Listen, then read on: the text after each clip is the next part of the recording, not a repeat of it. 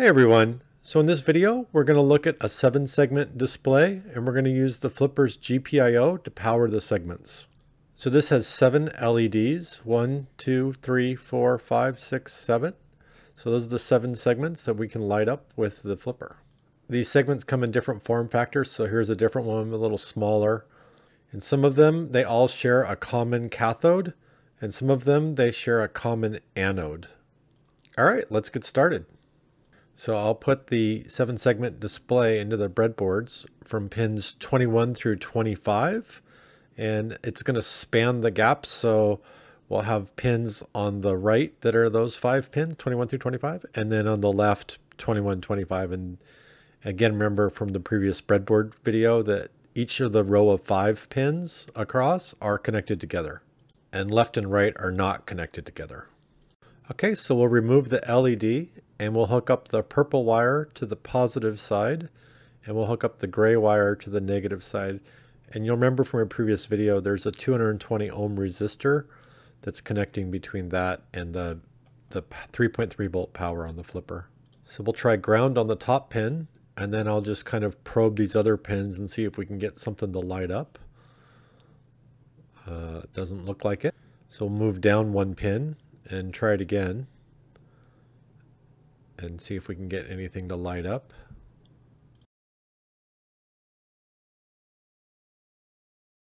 Still nothing. Okay, we'll move to the third pin. Ah, we got a light. Okay, let's try another segment. Oh, perfect. Okay, so it looks like this is our common ground, the third pin on the right. Okay, let's go ahead and probe some of these other spots. Yeah, okay, perfect. And you saw that it's actually seven segments plus there's also the dot that lights up. Okay, I'm going to go ahead and connect a 220 ohm resistor to each one of the pins on the seven segment display. Um, we could just use one resistor on the common wire, but then as we added more lights, as we turned on more lights at the same time, the it would be dim. So by putting them all on the output pins instead, we'll be able to have a consistent brightness regardless of how many segments are lit up.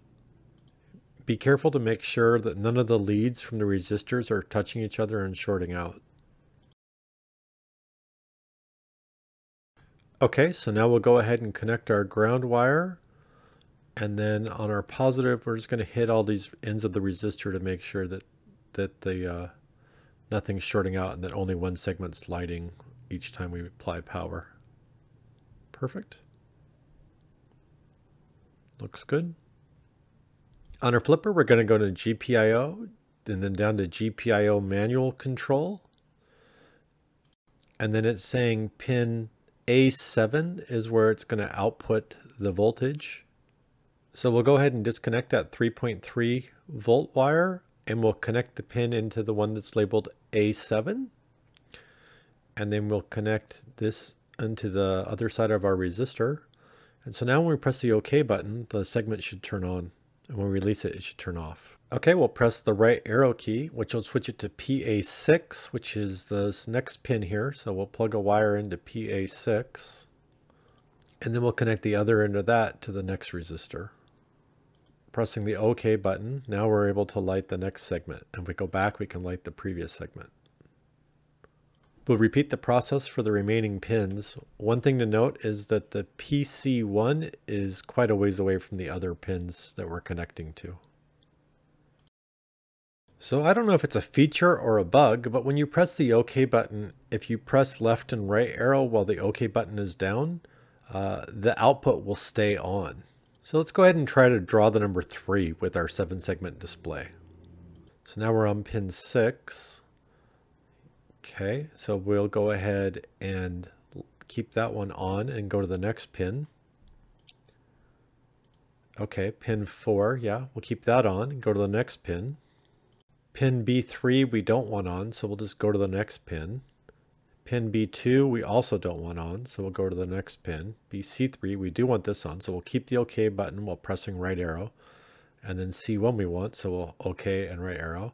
And there we've done it. So our GPIO pins on the flipper are outputting the number three. So instead of three, if we wanted the number four, we would just have to turn on and off a few of these segments, and here you go.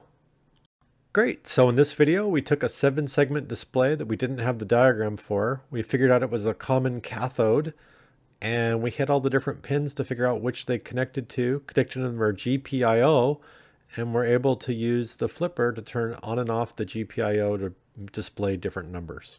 In a future video, I'll show how we can write code to display the different seven segment numbers. I hope you've enjoyed this video. Please leave any questions and comments below.